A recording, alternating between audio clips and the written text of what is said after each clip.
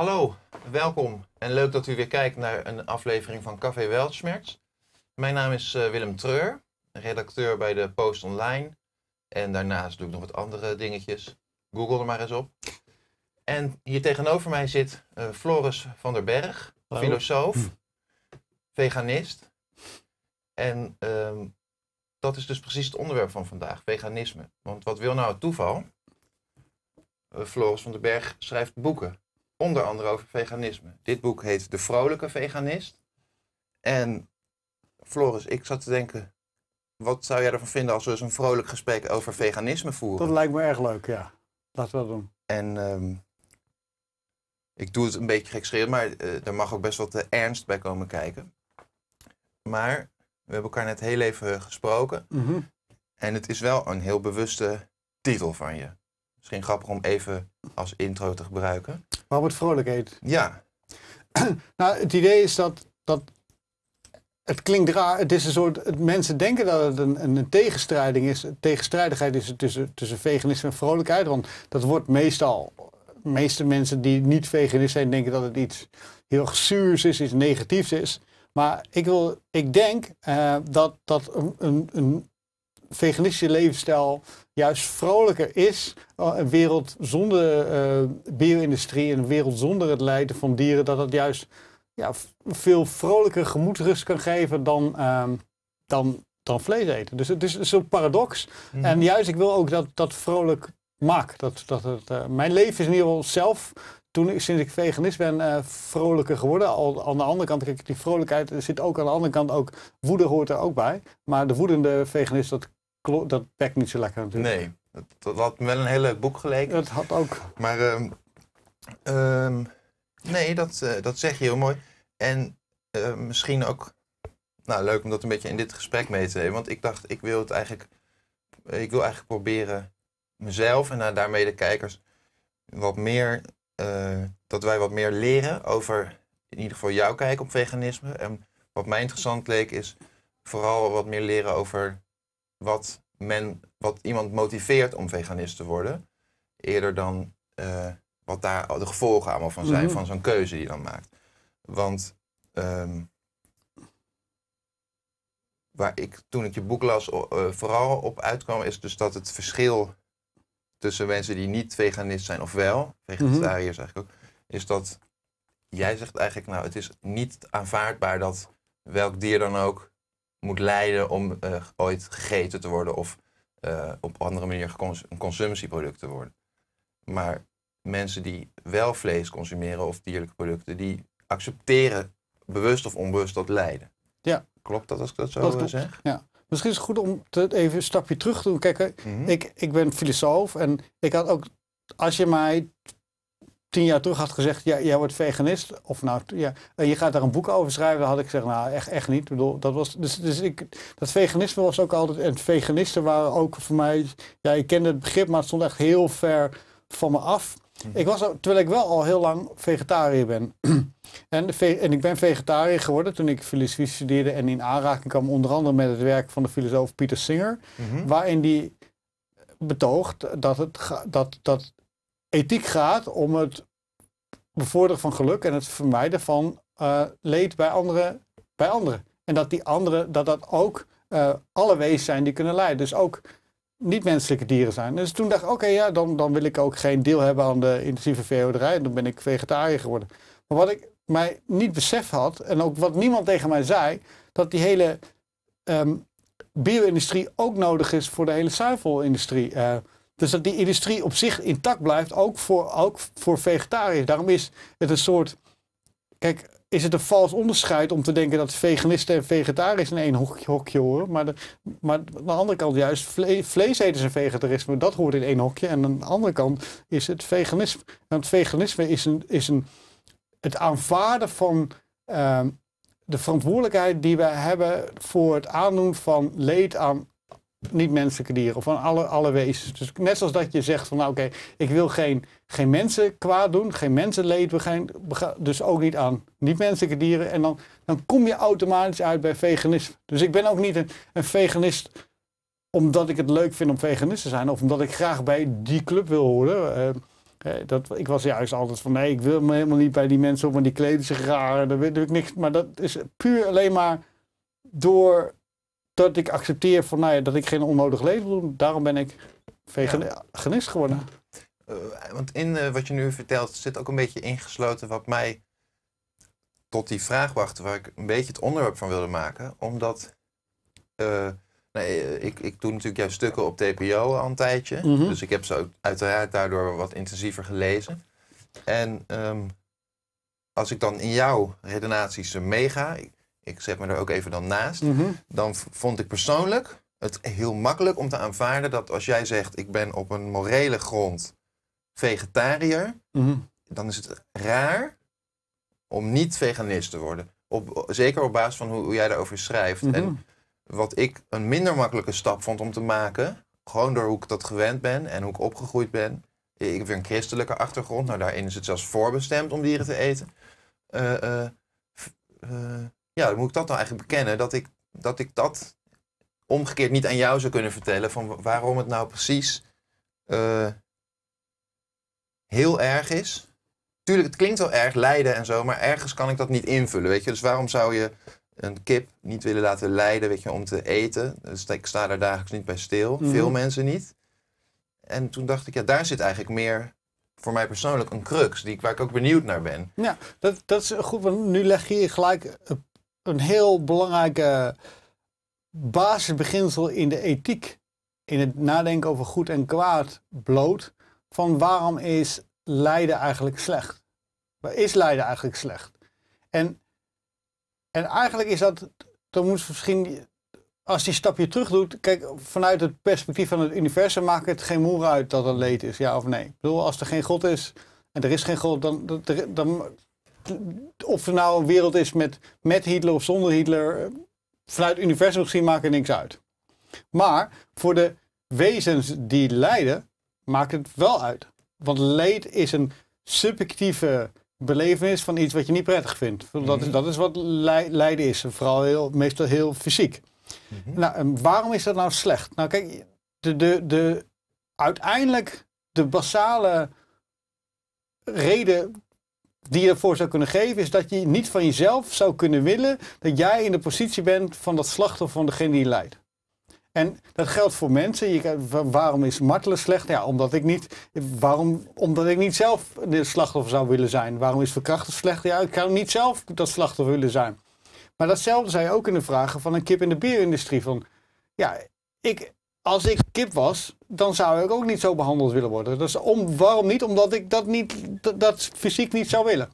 De vraag is natuurlijk van, ja, maar waarom zou ik me daar in dat slachtoffer willen inleven? En natuurlijk, dat is wat de ethiek over gaat. Waarom zou je niet in de slachtoffer in willen leven? En, dat, natuurlijk, als je zegt, ja, ik wil me niet in de kip inleveren. Ja, maar waarom zou je dan wel in een ander mens als slachtoffer in willen leven? En dat is precies ook het probleem wat we hebben met psychopaten die zich dan weliswaar inleven, maar die het leed van een ander niks kan, kan schelen. Ja, en psychopaten, die belanden in Nederland in een TBS-inrichting omdat, omdat ze beschermd moeten worden, dat ze geen slachtoffers maken. Nou, als ik dan ehm, een dingetje erbij haal wat je in je boek ook aanhaalde, eh, is ehm, een term die dan gebruikt kan worden, is eh, de morele cirkel. Mhm.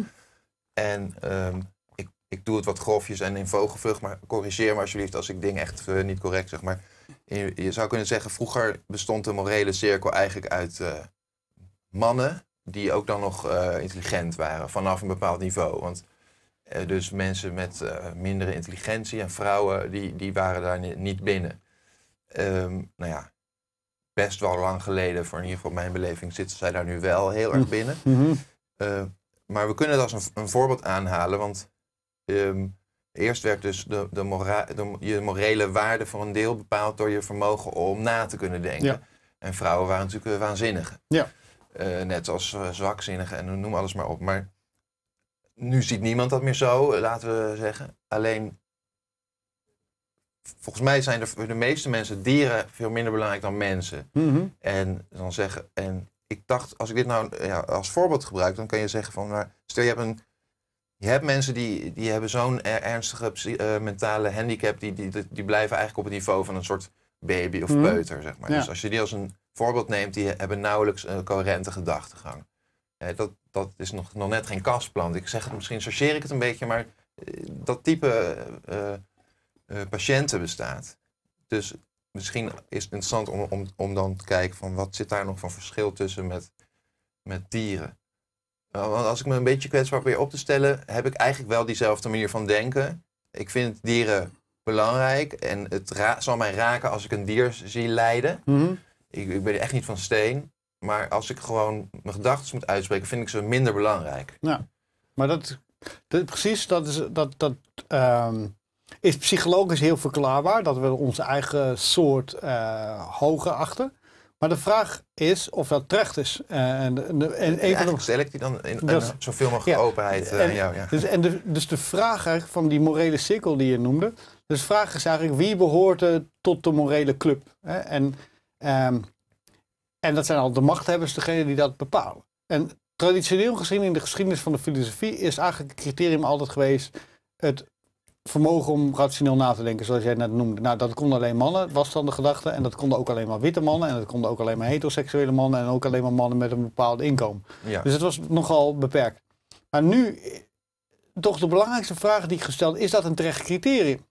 Mhm. En, en, en Jeremy Bentham, een filosoof over de 18e eeuw, die, die stelde van, volgens mij, die zei van, dat is helemaal is irrelevant of, of, of, of los, de rationaliteit is niet een, ehm, datgene wat bepaalt of een, e, eh, e- een wezen in de morele cirkel behoort. Hij zegt het gaat alleen om het vermogen om te kunnen leiden. En het vermogen te, kon- te kunnen leiden is veel groter dan de wezens die ook rationeel zijn. Eh, maar sommige rationele we- eh, wezens, of minstens alleen rationele wezens, kunnen nadenken over die morele cirkel. Hè? Ik bedoel, Ja. dus, dus want wij kunnen bijvoorbeeld ook besluiten. kijk, baby's die kunnen wel lijden, maar die kunnen niet nadenken. Ja. Dus wij kunnen besluiten om ze te barbecuen of om ze naar het dagcentrum te gebruiken. Ja? Nee, Dus- eh, ik ja. hou van de contrastgedachte, maar Ja, ik neem dus- die ook dus- serieus. en- maar over het algemeen, eh, wij brengen ze dus naar de daycare center. Ja. En we zorgen goed voor ze. ja, ja, dat is wel dat is Maar, heel gebruikelijk. maar, ja. maar- dus, maar varkens, eh, die dus, ehm, een volwassen varken va- is, is intelligenter dan een baby. ja, ja. Maar die barbecuen we wel. Ja, En dan is de vraag dus, en, en ze- zijn dus, dus intelligenter dan baby's. En ze, kunnen, en ze kunnen dus ook net zoveel, of misschien nog wel meer lijden, omdat ze ook al sociaal zijn. Mhm. Dus, dus, dus op, op twee criteria zou, zijn ze de scores hoger dan, dan mens. Ja, en, en toch vallen ze, hoe wij ze behandelen, in totaal verschillende cate- categorieën. En ik denk eh, dat, dat dat een waanbeeld is wat wij onszelf hebben aangepraat, omdat het gewoon nou eenmaal in onze cultuur hoort. Maar dat juist het doel van filosofie is het, het, het bevragen van meningen die we al heel lang hebben. Misschien hebben, zijn er geen goede redenen voor. En dit concept eh, van waarom het zo is dat wij niet-menselijke dieren totaal anders behandelen dan, dan menselijke dieren, want wij zijn ook dieren. Dus één diersoort, dat, dat, dat noemt een sociaal psycholoog, eh, Melanie Joy, noemt dat carnisme. Carnisme is eigenlijk het tegenovergestelde van veganisme. Kijk, want je hebt mensen die veganist zijn en je hebt mensen die geen veganist zijn, maar daar was eigenlijk tot voor kort geen, geen naam voor. Ja, geen ja, ideologie. ja. En dat is carnisme. Een carnist is iemand die vindt het dus moreel gerechtvaardig om wat dan ook met dieren te doen wat die, die persoon maar wil. Dus dat, is, dat kan eten zijn, het dragen van leren, doen, eh, de dierentuin, circussen, Mhm. eh, dierproeven. ja. En dat doen we dus niet met baby's, maar wel met alle andere Eigenlijk is het, vind ik het eh, een dubbel leuk voorbeeld om, eh, ik gebruik toch het woord leuk, want ze zouden er een vrolijk Ja, is van maken. Eh, omdat een varken, ik, ik ben daar wel op een gegeven moment mee bekend geraakt, dat het hele fascinerende dieren zijn. Mhm. En daar zit een soort, iets, een soort tegenstelling in, omdat ze eigenlijk, ja, een, een babyvarkentje is misschien nog schattig, maar ergens is het een heel onschattig dier. Als je ze Mhm. echte volwassen varkens Nee. ziet, zijn vaak hele onaantrekkelijke beesten, weet je wel. En Net als mannen. eh, ja, nou ja, precies. Ik bedoel er verder ook niet al te veel mee. Maar ik vind het wel geestig, omdat een baby is eigenlijk het ultieme van schattigheid. Ja. En een varken eigenlijk het ultieme, ook in de, in de taal, weet je, een voorbeeld van een zwijn of een varken dat echt lager kan gewoon niet. Nee. In een beeldspraak op zijn minst. Ja.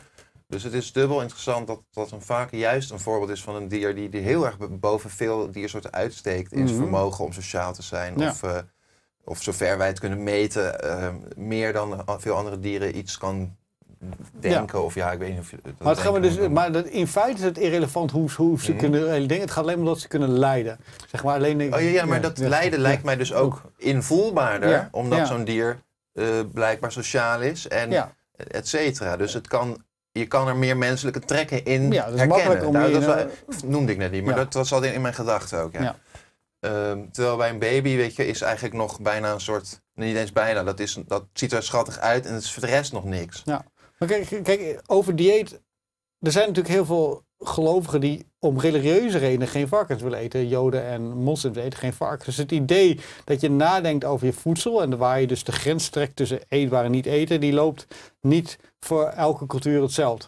Maar het verschil is tussen moreel veganisme is dat er ele- rationele ethische redenen overgaan en niet irrationele redenen zoals met varkensvlees. Of, of dat, eh, en, en dat is een groot verschil. Maar we, het nadenken over eten hoort bij onze cultuur, denk ik. Maar het is nieuw om daar op zo'n rationele manier over na te denken. Mhm. En het- maar het is dus heel ongemakkelijk dat het tot een conclusie komt die eigenlijk haak staat op onze cultuur. Ja. Maar dat is dus het, het enge van, wat ik het enge vind en waar ook dat, dat eigenlijk dat woedende veganist aankomt, dat, dat sinds, sinds na de Tweede Wereldoorlog is eigenlijk hier de intensieve veehouderij ehm, pas goed van de grond gekomen. En de manier en de schaal waarop wij nu dieren houden, die is nog nooit eerder in de geschiedenis voorgekomen.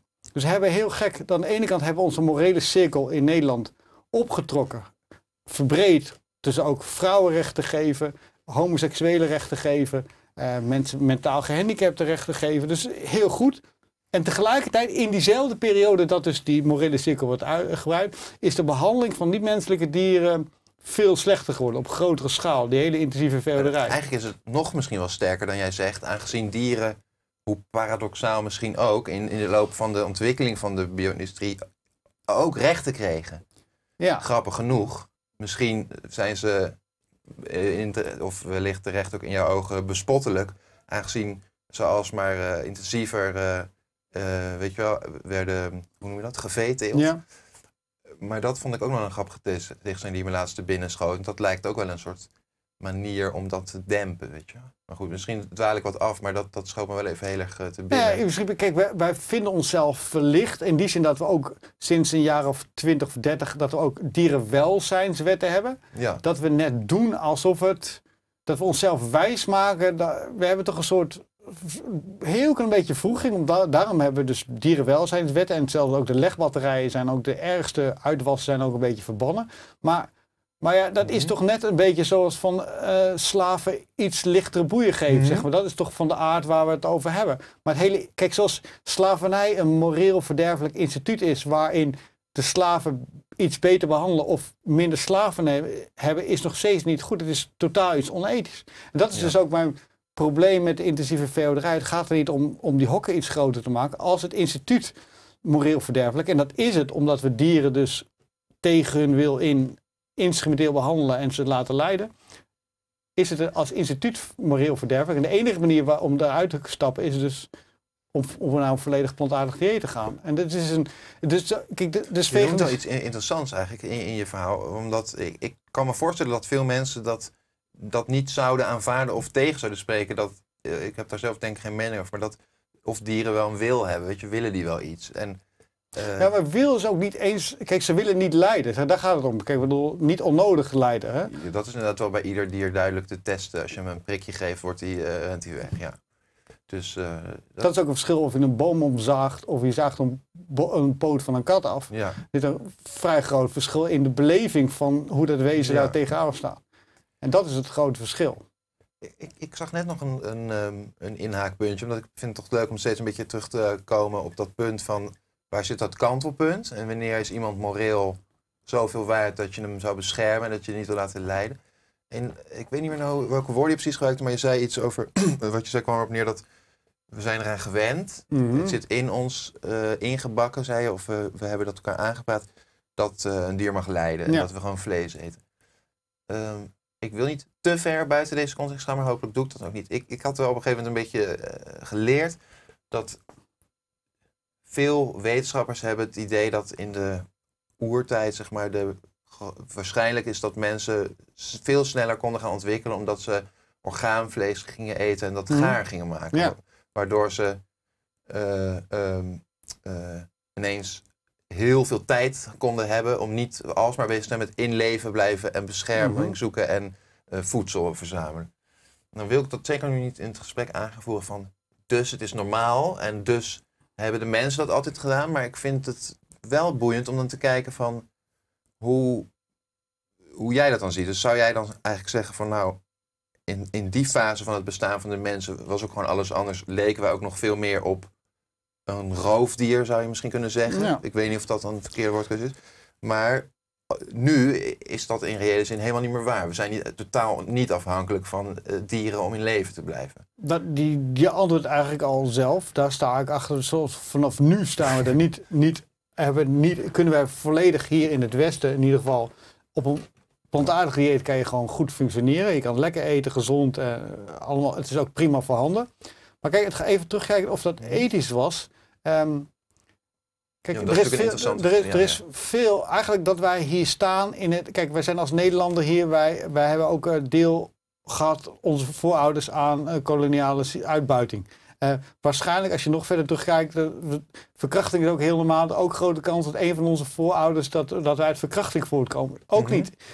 De, wij zijn zo geworden doordat we vlees hebben gegeten. Dus allemaal, maar allemaal dingen die ethisch heel problematisch zijn. Maar daar kunnen wij niks aan doen. Wij zijn nu eenmaal hier nu. En dat kunnen we niet zeggen, ja, omdat er vroeger dat er waarschijnlijk iemand verkracht is, dan kun je in onze voorouderlijke lijn, kun- dus kunnen we niet als excuus aanvoeren om dat nu ook Mhm. maar te gaan doen. Hè, dus, dus ja, Nou, ik, ben, ik ga er heel makkelijk in mee, maar stel ik verlicht dit precies dezelfde eh, stuk van de andere kant aan. mhm, Eh, Want ik, vind, ik ben een beetje op zoek naar kantelpunten. Dat vind ik Mhm. interessant. Dus als wij dan zeggen van 100% waar wat je nu zegt. eh, maar als ik dan terug in de tijd ga. Eh, want daar ligt misschien wel een bepaald antwoord. Waardoor ik me misschien weer nog veel meer zou kunnen verplaatsen. Ook in eh, ge- gemotiveerd raken voor, voor veganisme. Wanneer is er dan eigenlijk een soort moment gekomen dat het eigenlijk immoreel begon te worden?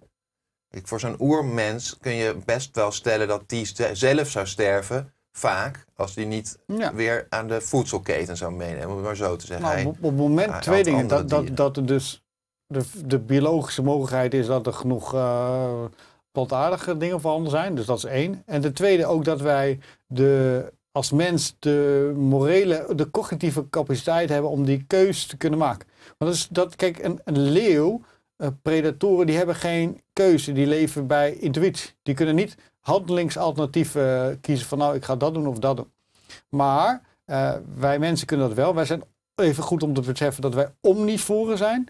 En dat betekent dat onze biologische layout is zo dat we kunnen overleven op ofwel helemaal alleen vlees, ofwel alleen plantaardig, of elke mix er tussendoor. Ja, Dan kunnen ja. we prima op.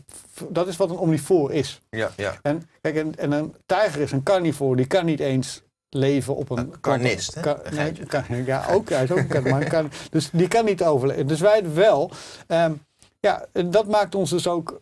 Op het moment dat we dus die keuze kunnen maken, en dat zal ergens in de geschiedenis zou dat zijn, dat dan wordt het ook ethisch dat we dat gaan doen. Misschien een leuk trivia vraagje wat wel relevantie heeft. Want eh, weet jij daar toevallig als deskundige iets over? Is er een bepaald moment dat dat het begon te ontstaan? Niet vlees eten? Eh, Zeg maar in de relatief eh, nieuwe geschiedenis? Eh, het, het komt voor in, oh, in het hindoeïsme en het boeddhisme komt, eh, komt dat al vrij lang voor, het Dat eh, niet eten. Maar En als je dan naar het ethisch- Westen zou kijken, dus toch het, onder de vlag van het Ja, christendom, oké. al dan niet ethisch seculier. gewoon. veganisme komt, is opgekomen eh, eh, eind van de 19e eeuw, zeg maar. Eigenlijk ook in Engeland is het eh, opgekomen. Het is wel interessant dat mensen die hebben het vaak over Gandhi, die, een beroemd citaat van Gandhi, dat je de, de, de graad van civilisatie kan meten aan, aan hoe, hoe een samenleving omgaat met dieren. En, en Gandhi is natuurlijk een hindoe, maar zijn vegetarisme heeft hij, toen hij in Engeland studeerde en woonde, heeft hij van de plaatselijke veganisme of vegetariërvereniging heeft hij dat overgenomen. En dat paste wel goed bij zijn hindoe-achtergrond later. Maar dat komt, het is westers vegetarisme. Dus dat is toch wel even leuk om te weten. Dan kijk je de kijker even voor aan. Ja, een stukje cultuurgeschiedenis. Ja. Nou, wel heel boeiend. Ehm, eh, want ik vind het zelf altijd wel leuk om ook een beetje over losse dingen te praten. En die dan heel sterk bij het thema dus terug te brengen. Omdat ehm, nu benoemen wij dus eigenlijk dat op een gegeven moment zijn mensen cognitief in staat om, om een, een keuze te maken. Mhm. Want je, jij noemde net een leeuw, maar mijn gedachte ging bijvoorbeeld ook heel erg naar een chimpansee.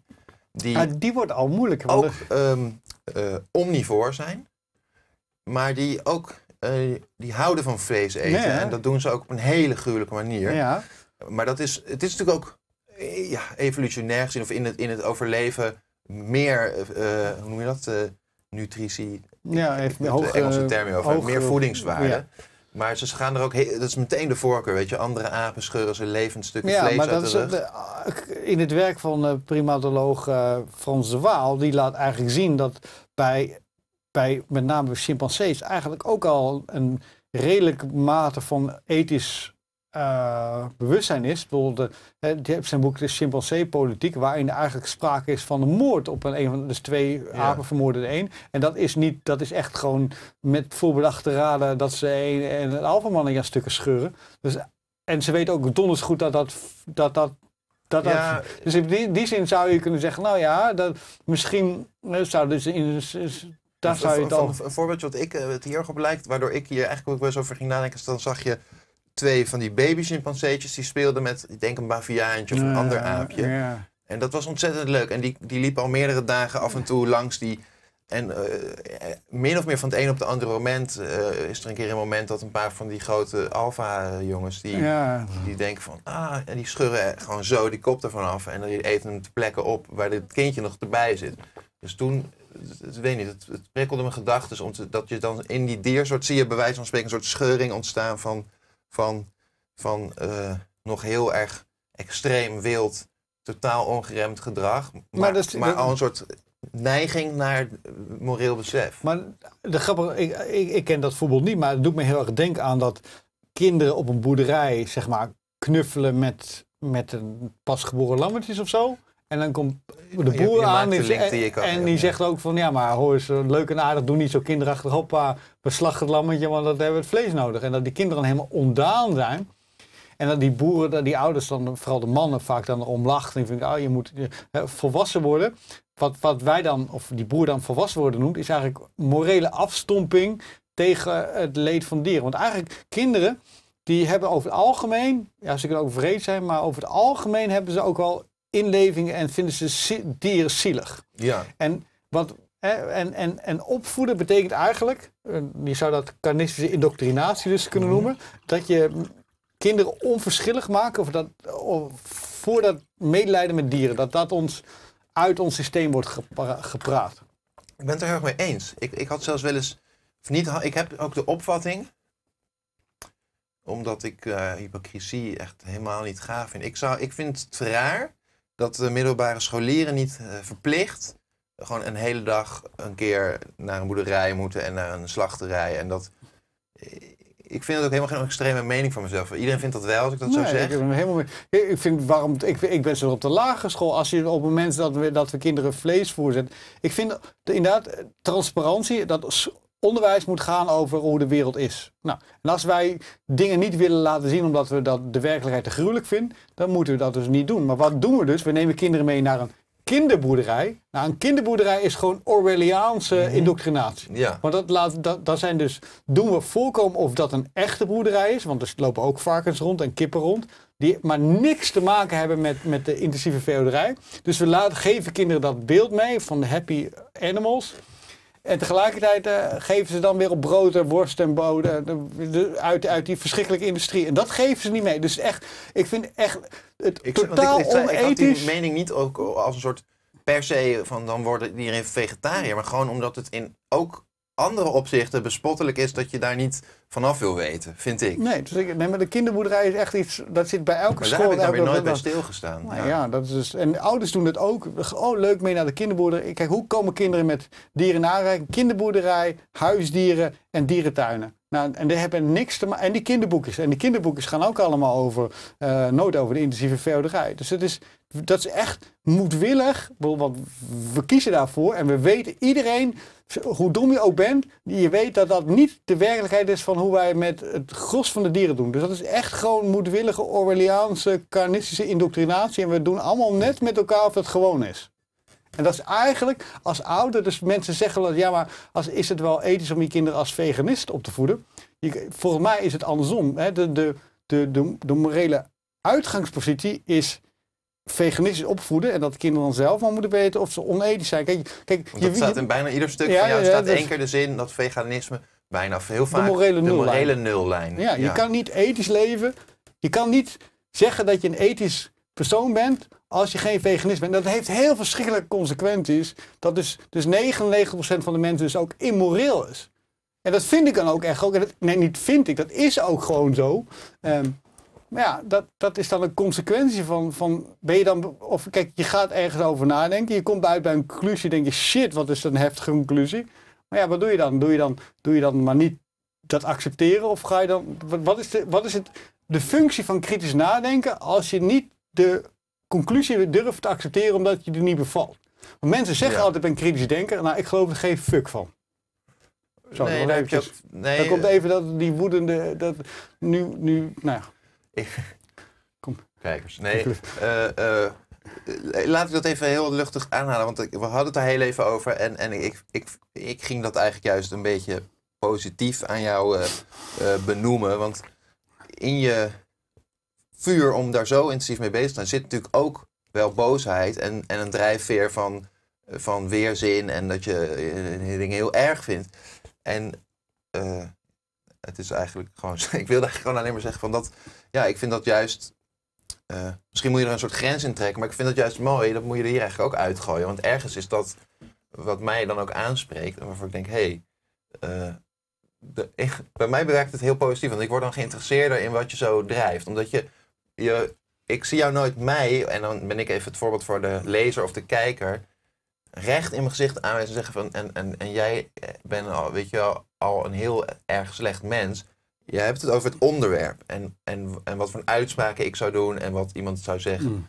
Dus die boosheid is natuurlijk ook heel erg een soort manier om het voelbaar te maken. Want, want het gaat ook eh, niet alleen om ratio, maar ook om emotie. Niet alleen bij de dieren, maar ook bij jou. Ja, maar kijk, ik, zie- ik, ik zie mijn, kijk, of maak ik het te persoonlijk? Nee hoor, nee, kijk. ehm, ik heb eh, de vrijheid en de, de tijd en de mogelijkheden gehad om mij intellectueel te ontwikkelen. En ook dus, dus hier te komen. Ik heb het niet allemaal zelf verzonnen. Ik heb gewoon de tijd gehad om dat te lezen. En, over, en het op in te laten, door te laten dringen. Maar nu voel ik ook daardoor de verantwoordelijkheid. Ik heb nu de mogelijkheid om de onmondige slachtoffers een stem te geven.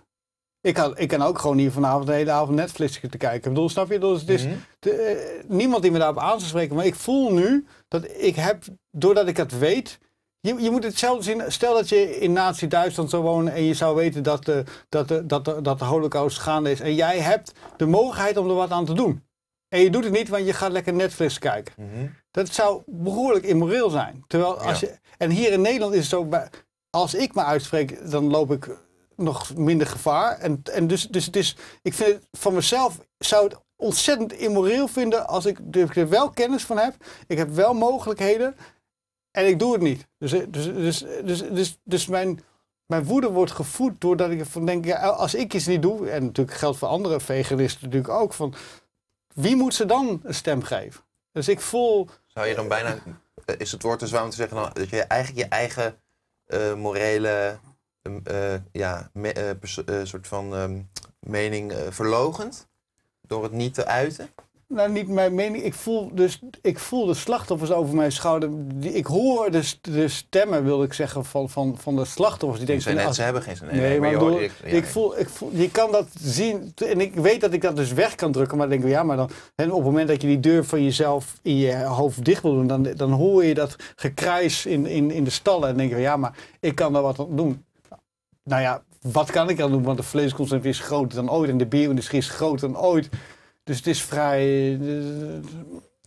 eh, hopeloos. Maar goed, dat, dat is wat ik probeer. Kijk, Het gaat niet om. Het gaat er ook helemaal niet om om zoveel Kijk, dat is een paradox. Het gaat mij niet om zoveel mogelijk mensen veganist te maken. Nou, dat klinkt raar. Ik wil dat het de morele nullijn wordt. Dat er gewoon iedereen veganist is. En dat het ook totaal onbegrijpelijk is dat we ooit dat hebben gedaan als vlees eten. En dat, is, dat, dat, dat, dat, dat, dat mijn kleinkinderen later zullen zeggen van opa is het echt waar dat, dat, dat mensen vroeger vlees aten. Net als dat wij nu niet voor kunnen stellen dat onze voorouders het, dat die met de slavernij, slavernij bedreven. Dat, dat kunnen dat denk ik echt eh, van jeetje mina, dat, zijn, dat kunnen mijn, eh, mijn over overgrootvader zijn.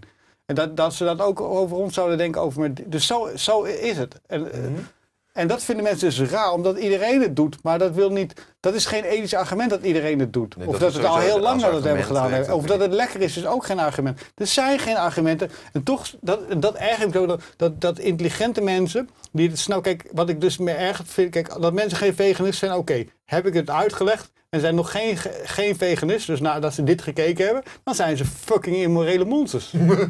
Ja. Snap je? Want Ja. dan komt het, als je het wel weet, je hebt het uitgelegd en je doet het nog steeds niet, dan geef je dus geen fuck om de slachtoffers. Ik, ik durf er wel een nuance in aan te Ook. brengen dat het misschien wel veel tijd zal kosten voor mensen om, om hun denken zo erg dat, om te kijk, dat, dat, snap ik. Kijk, ik snap het ook. En dat, dat, dat heeft een psychologische tijd nodig om dat je door te laten dringen. En ik weet ook dat het lukt eigenlijk nooit om van carnisme naar veganisme te gaan. Dat je, vegetarisme is altijd een tussenstap. Maar dat moet het ook een tussenstap zijn waar je zo kort mogelijk blijft. En dat je in ieder geval. Maar heel veel mensen die, die komen in contact met, met veganisten op een of andere manier. Of met dierethische argumenten.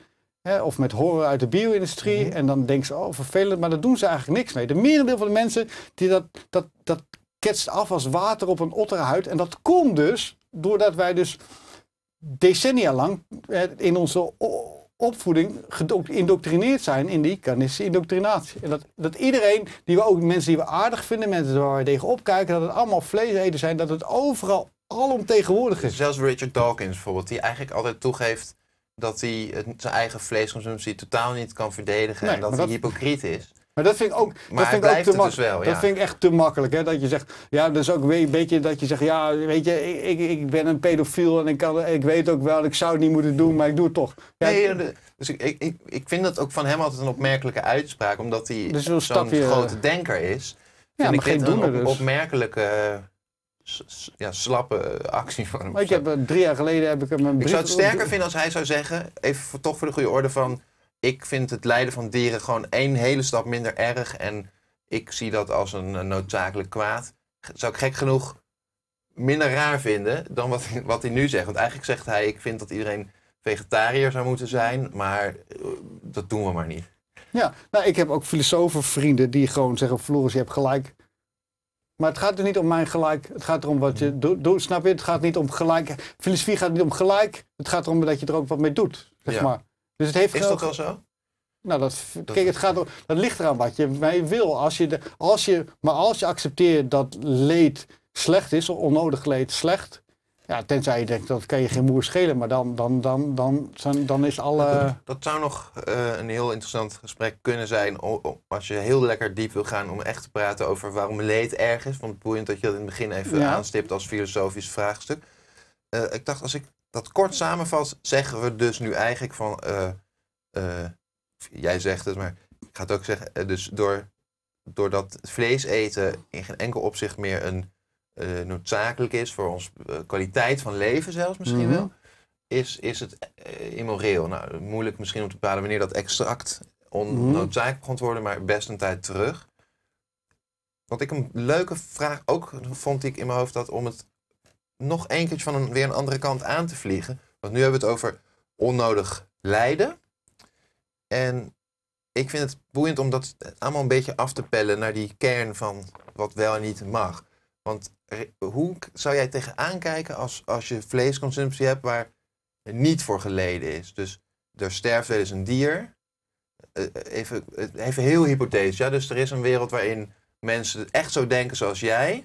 En hoe zou je in zo'n situatie aankijken tegen het consumeren van eh, dierlijke producten waarbij, ook al is het misschien te hypothetisch voor, maar waar geen lijden. is. Stel, mensen hebben één of twee koeien Ja. en die geven een wat melk of, of een kippeneitje oprapen of, of er Mm, nee, sterft een dier. Ja, nou, de- de- je maakt verschillende voorbeelden. Kijk, Mhm. bijvoorbeeld als een dier dood is zonder ons. eh, dat we, stel dat je een dier doodrijdt per ongeluk. Hè? Bedoel, eh, dat dat kan gebeuren.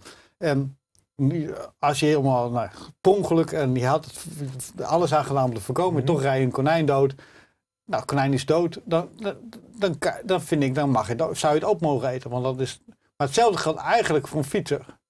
Maar de fietser heeft dan vaak weer familie en zo. Maar stel dat het een. een- in principe zou dat ook voor de fietser moeten gelden. Voor mensen die overleden zijn, Mhm. eh, die geen familie, die zouden we die producten ook mogen eten. Dus, eh, die, die, dus in die zin, gebruik van dierlijke producten van dieren die of die natuurlijke dood gestorven zijn, inclusief menselijke Mhm. dieren, die mag je gebruiken.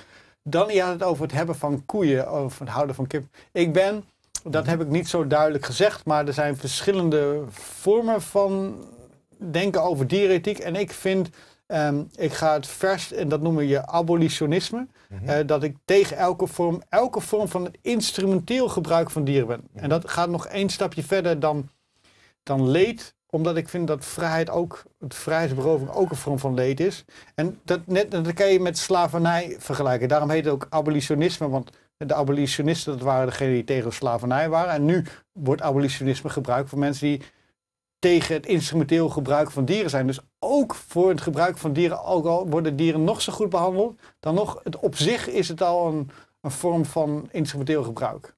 Dus ik ben tegen elke vorm van instrumenteel gebruik, zelfs als die dieren niet echt lijden.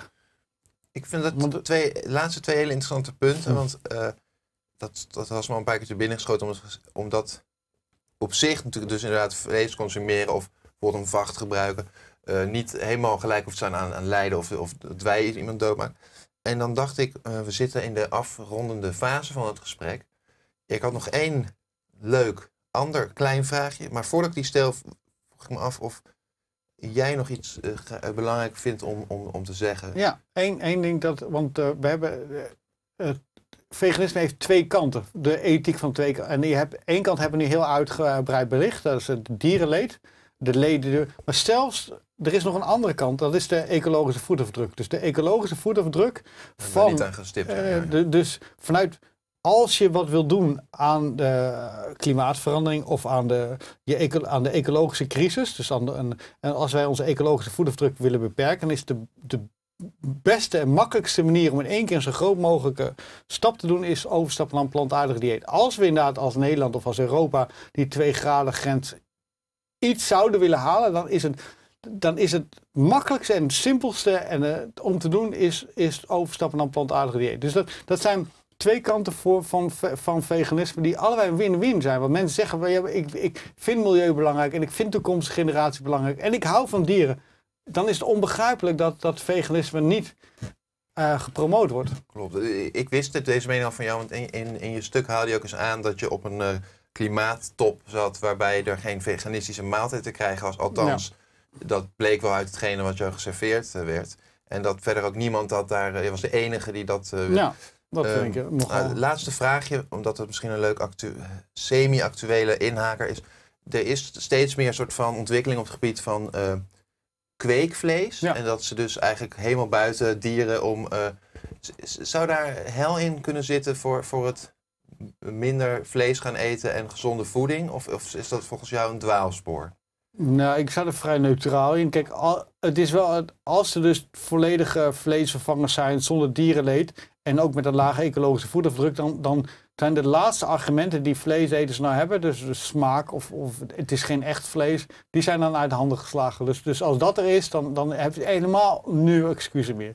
Het echte, nu, de, de, de plantaardige vleesvervangers die er al, nu al zijn, die zijn al zo goed dat ze, die, die, ik geloof dat de gehaktbal van de vegetarische slager al, al meerdere keren uitgeroepen is tot beste gehaktbal van het jaar. En Dus, dus dan vraag je wat, wat, is, wat is dan nog de meerwaarde van... eh, die- maar ik ben er dus niet op tegen, maar ook niet voor. Maar als het er is, dan, zijn echt, dan heb je ook werkelijk echt helemaal geen enkele uitweg meer om niet veganist te worden. Dat belooft nog wat. Ja, dat- Ehm, ik laat nog even dit prachtige boek in beeld zien. O, eh, koop overal op internet. PDF's kun je ervan krijgen. Eh, eh, maar kijk, E-boeken. kijk, je hoeft het voor mij niet eens te kopen. Je hoeft het niet te kopen, je hoeft het niet te lezen als je maar veganist wordt. Hey, mag je heel erg bedanken voor het gesprek. Graag gedaan.